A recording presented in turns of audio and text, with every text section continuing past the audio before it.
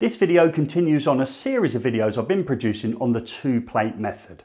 The two plate method is where the supply is taken directly to the switch and in this installation we've come from the consumer unit and we've taken our line, our neutral and our CPC directly into the switch unlike when we do the three plate method which we've done on the channel where we take that supply directly to the lighting points.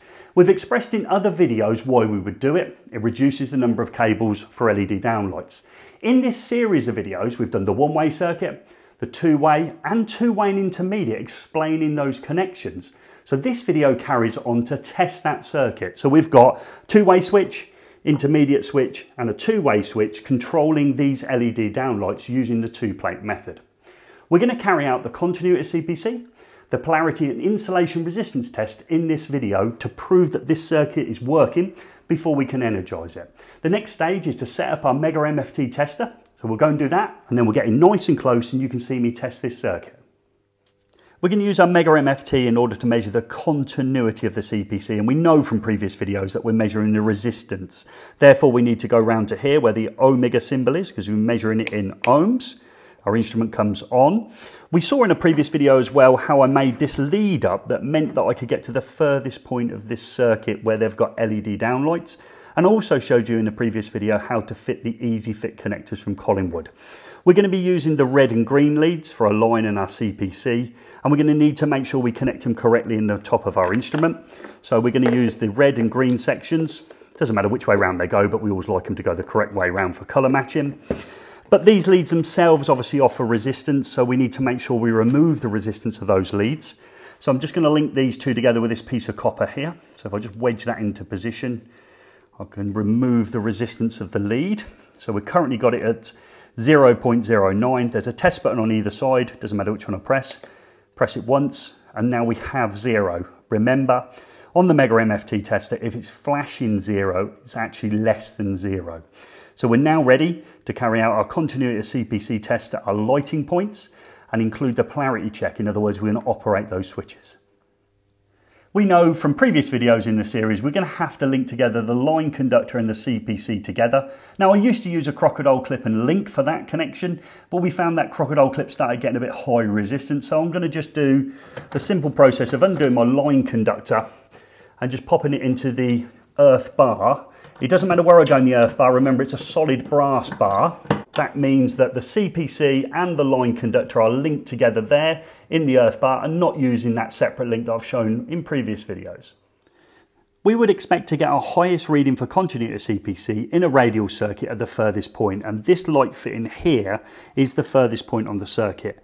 However, we're going to need to prove that this one comes on and off as part of our polarity check, as well as the other LED downlights in the area. So we will check here as well. However, we will always record the highest reading we achieve for our continuity CPC, wherever that is in circuit. But we know logically it should be the end of a radial circuit because that's the maximum amount of cable. And if you come in nice and closely, you can also do a visual polarity check where you're checking the L, the earth symbol and the neutral are connected correctly in here. So it's a nice little touch that you can do a visual polarity. Just going to pull this connector out and insert my test lead adapter now. The readings are going to jump around a little bit on here. Okay, so we're going to pick a reading. So we've got it nice and frozen there at, what do we got? 1.17 ohms. The circuit is closed. In other words, the switches are in the on position. So it wouldn't matter where I went in circuit to turn it off. So if I go to the first switch down here and I operate that switch, we should see the reading change to infinity. So in other words, now I've got an open circuit. I can go to any switch on the circuit. I should get it to come back on. We'll go to the intermediate switch in the middle, operate that switch, and I now have a reading of 1.2 ohms. Go to the next switch. So we're going to operate our third switching circuit, our two-way switch. And again, we can see it's gone off. So we've got an infinite reading. And then we go back to any switch, should come back on. I've got a reading now of 0.71. Go back to my first two-way switch. And then the circuit we can see is now again open circuit, so it's gone off. It doesn't matter which switch I operate now, it should come back on and I let it settle down. Of all the readings I got there, I need to remember the highest one, even though it might not be at the moment the highest reading in circuit, because we've got to test the other lighting point and the switches. So let's do the other lighting point next. So we've tested to the furthest point on this radial circuit and proved that we've got a CPC there, but you need to prove the CPC is every point in circuit. We got a reading of 1.2 ohms. Now we've got to remember that reading because if that reading we find a higher one, that will be the one we recorded. However, logically, because we're going to have less cable in when we check at this point, you expect our reading for R1 plus R2, the continuity reading to fall. So let's move it across to the next LED downlight and connect it and we can see at the minute that we have no reading. So in other words, we have an open circuit.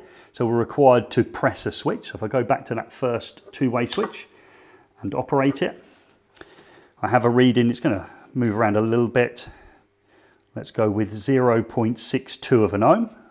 I operate my intermediate switch. We can see that it's now gone to open circuit. So it's not actually in the on position now. So we've got no reading. We go back to my two-way switch, operate the switch. I get a reading of 0.71 of an ohm, operate a switch, the intermediate switch. We go to open circuit. And let's do it on the final switching position. Let's operate the last two-way switch. And we have a reading of 0.3 ohms. So we've still got a highest reading at the, the first test that we did of 1.2 ohms, but we now need to check at each of the light switches that they also have a CPC. I've removed the lead that I used to get to the furthest point of the LEDs and gone back to my traditional probes, again using the red and green sections in the top of the MFT tester. Again, we'll just confirm that they are zero before starting the test. There is zero, so we can now test the CPC as at each of the light switches. So we need to prove the CPC is also here. Remember, we've said it many times, this could be changed from metal exposed conductive part that would need connecting to the CPC. So one of our probes goes onto the earth terminal, one of them picks up our line conductor. Press nice and firm, we have a reading of 0.27 of an ohm. We'll move to the next switch. Into our intermediate switch, we make our connection for our circuit protective conductor. We pick up a line connection, press nice and firmly, my reading settles down, I've got 0.06 of an ohm. Onto our final two-way switch, pick up our circuit protective conductor, pick up our line connection, and we have a reading there again of 0.06 of an ohm. So we got our highest reading for our continuity of CPC as 1.2 ohms, which we're going to record under that box heading R1 plus R2. We confirmed that the switch is turned on the lighting point so we can tick our polarity box. We're now expected to do our insulation resistance test. So I'm going to need to drop my line conductor back out the earth bar and return it to the required torque setting. And in this case, it is 2.3 Newton meters of torque. So as I've clicked through there, I know I've returned the torque setting to that line conductor in the top of this Crabtree Starbreaker, 6 amps rated to the required torque setting. On the channel I've shown videos on how to set up a torque screwdriver and the importance of using it, so just to remember to return that to the required torque setting. We're now ready to get our covers on and our loads removed in order that we can carry out our insulation resistance test next.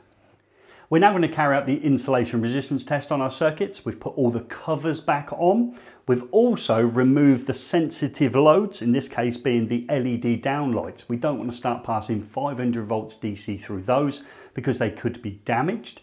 Also, we've got to be thinking now about the switch positions. We don't know whether they're on or off, and this is really crucial at AM2, AM2S, and AM2E when you're carrying out your insulation resistance test on your lighting circuit that could possibly be two-way and intermediate. You must follow the next procedure when carrying out the test. So we're going to test from within inside the consumer unit. We're going to test with the breaker off and the RCCB off because the RCCB also contains electronic components. We're going to carry out the test between line, neutral and CPC. We'll do those three tests.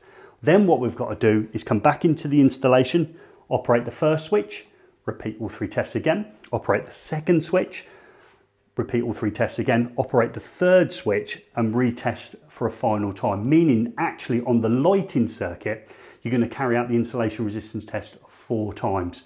And it's really important that you remember that when you're doing that endpoint assessment as part of your AM2, AM2S or AM2E. So we're next inside the consumer unit, carry out the insulation resistance test, and then we'll be operating the switches and repeating the test again. Going to need to set our Megger MFT up to do the insulation resistance test. We've got the mega ohm scales here, sometimes called the mega ohm scale. We need to set it to 500 volts, 500 volts DC. And we're going to need to check that these leads actually are good. So in this case, we're going to bring them together and expect to get a dead short on here. So if we bring the two leads together, connect them, and then we have to press and hold our test button and we expect to get a dead short. If one of the leads had broken, and they can sometimes break at this point here without you noticing it, it's no different than being broken here. So if we do, imagine we had a broken lead, let's remove those apart, and we did our test. We've actually got a reading greater than the machine can read, greater than 999 mega ohms or meg ohms, however you want to say it. So that would be a false reading that we'd think was brilliant. So it's always important that you just bring your leads together before you carry out this test press your test button and just confirm you've got a dead short. So they're connected together, leads are in good shape. Let's carry out the insulation resistance test next. So we're ready to do our insulation resistance test. Our RCCB is in the off position, our circuit breaker is in the off position. We're going to do it from the top of our breaker and our neutral and earth bars. There is no correct sequence, and there's not even a Gary sequence. So we're going to go in any order we like, connect onto the earth bar, and I'm going to test between the earth bar and neutral. I'm going to press my test button on my instrument and I get a reading greater than the machine can read. Remember, the smallest acceptable value of insulation resistance is one mega ohm, but we'd expect a very, very high reading for a brand new installation. Next, I'm going to test between my line and my earth connection. So my CPC and my earth bar. So there we go. So that's between line and CPC, greater than the machine can read. Just going to take my crocodile clip, move it across to the neutral bar and test between the neutral bar and the line connection and again greater than the machine can read. Now you might think that's it, the insulation resistance test is done, but for AM2, AM2S, AM2E, your endpoint practical assessment for anything with two-way or two-way and intermediate switching of a lighting circuit, you need to operate your switches according to guidance notes 3. So in our installation here, we don't know whether our circuit was on or off. So what you do is you test at the board as we've done, you walk out into the installation and you operate a switch. So we've operated this switch here. We go back into our board and we do all three again. Once we've done that, we will come out and operate this switch, do all three again, and then we'll do this switch and do all three again. So effectively, you're going to do the insulation resistance test on this circuit four times. That means that we will prove that all elements of the switching and strappers were at some point in circuit and check for insulation resistance testing. So we've operated this switch, we come back into our board, and we test again the three sets as we go through. So we can see the reading. We now go between the earth and neutral bars. Once again, greater than the machine can read. We move it across. We connect our line connection and our CPC.